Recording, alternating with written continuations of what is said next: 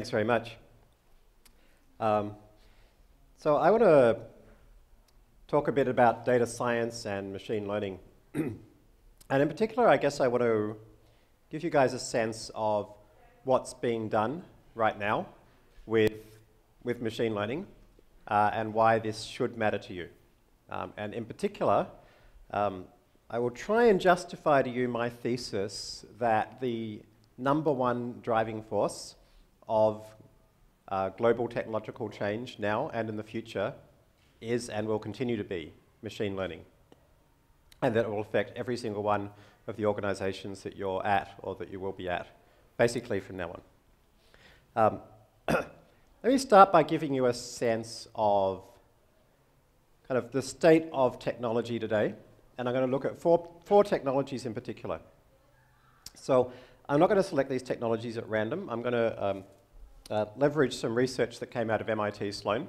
Uh, some of you guys may have seen a book called uh, Race Against the Machine by Andrew McAfee and Erik Brynjolfsson. So uh, these are two researchers from MIT Sloan who have been studying the question, very, very important economic and sociological question.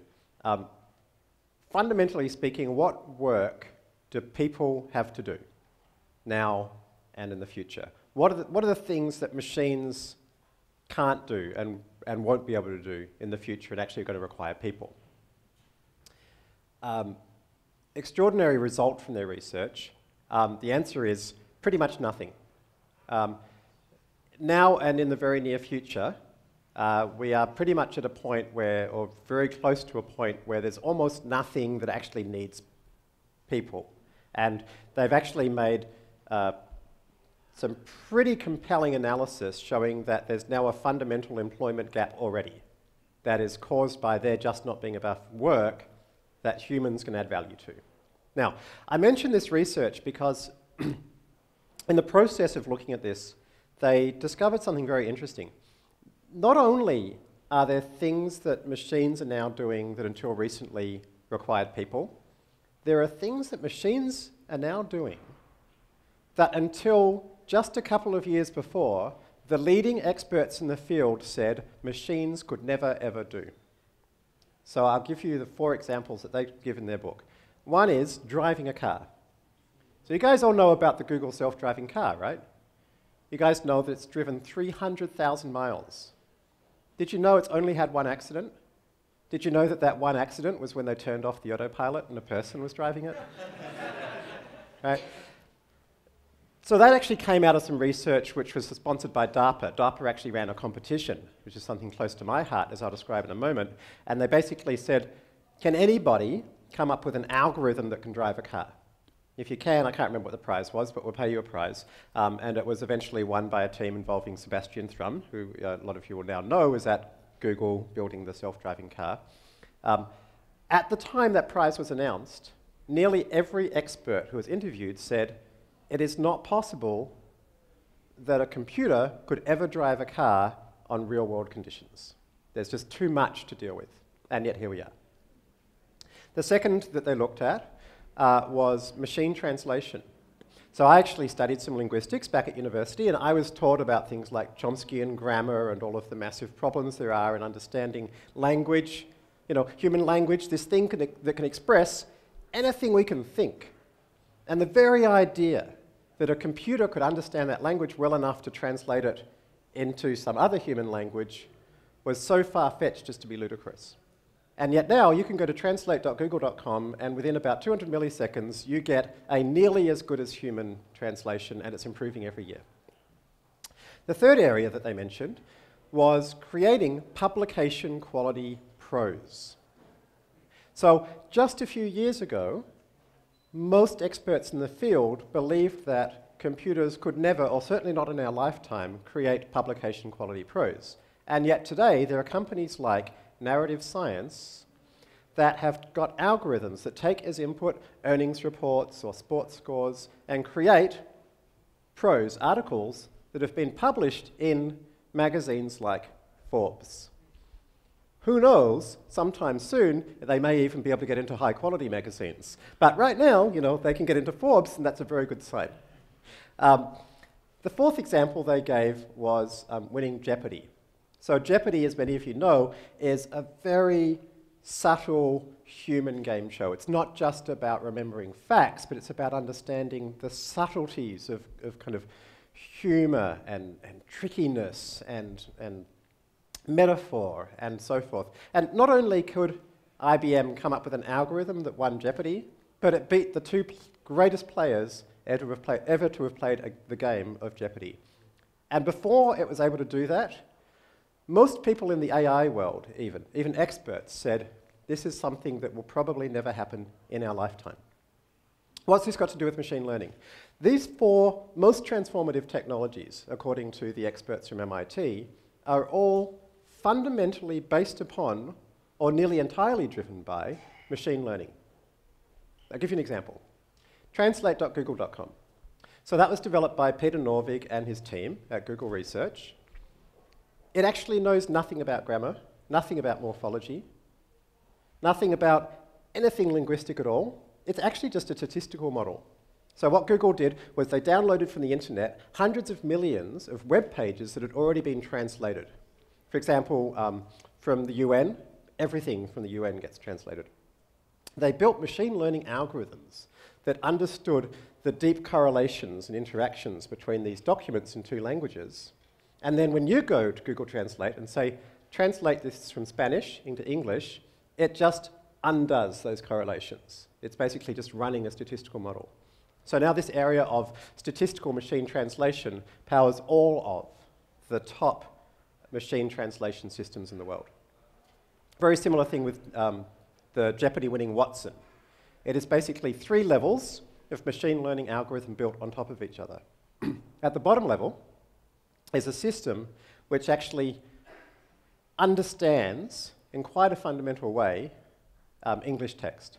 And it has read Wikipedia, for example, and it understands what is in Wikipedia.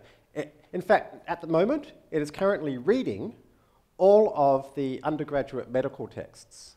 So right now, Watson has just passed the second year medical exams and is on the way to being qualified as a doctor.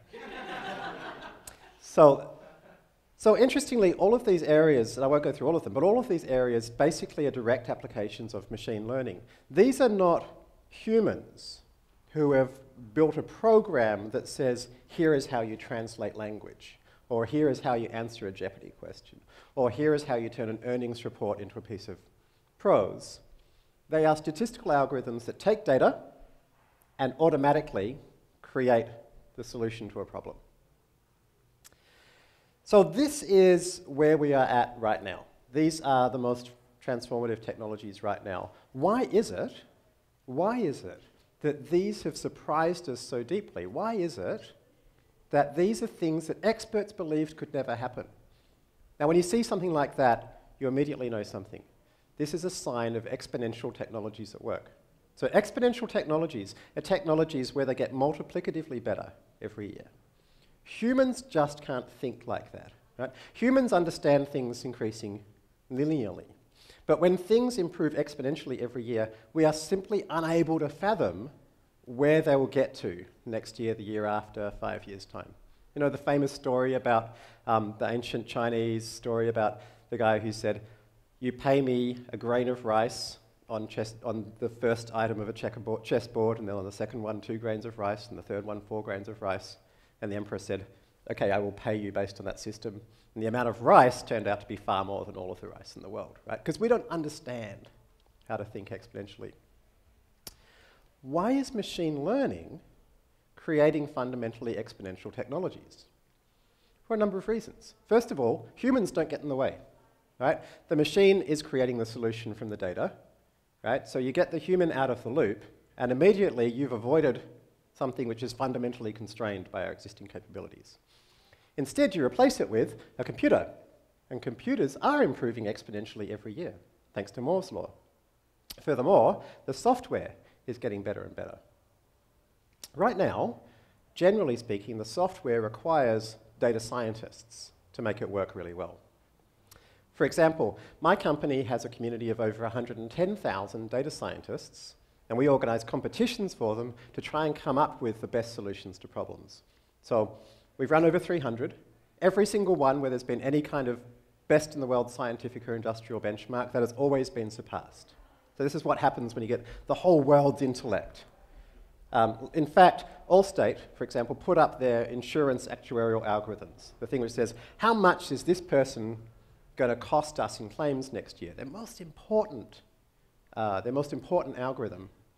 The best that the Allstate team came up with, probably the best actuarial team in the world, that was beaten within two days using a competition by data scientists using machine learning, but also using their great creativity.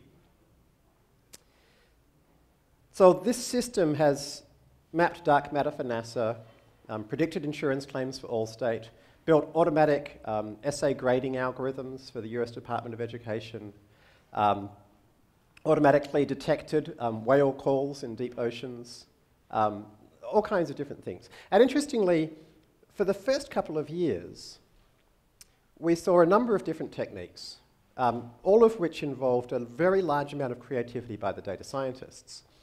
Something extraordinary has happened in the last year.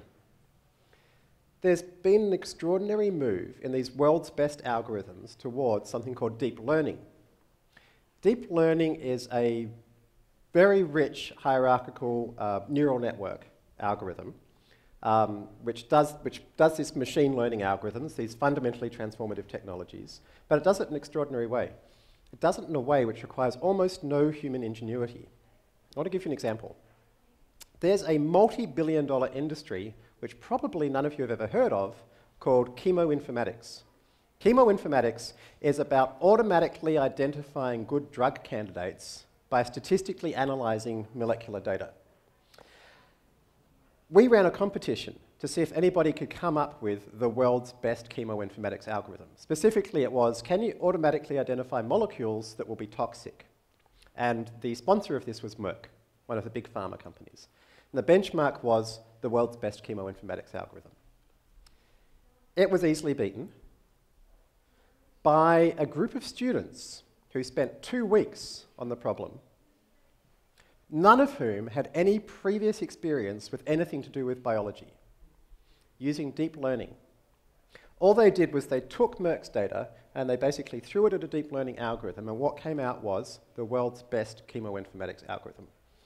Right now, as I speak, deep learning is the best algorithm in the world for understanding cursive handwriting, understanding spoken language, automatically developing new drugs using chemoinformatics, recognizing the content of images, understanding videos, and many others. In every single one of these areas, these have all been developed by somebody with no previous background in that particular field. Once we get to a point where we hit the world's best algorithm from deep learning, as we have in the last year or two in these areas, in the next year, generally those algorithms get twice as good. Right? So we're now at a point where many of the world's toughest problems are being solved by algorithms that are almost entirely automated and are getting exponentially better every year.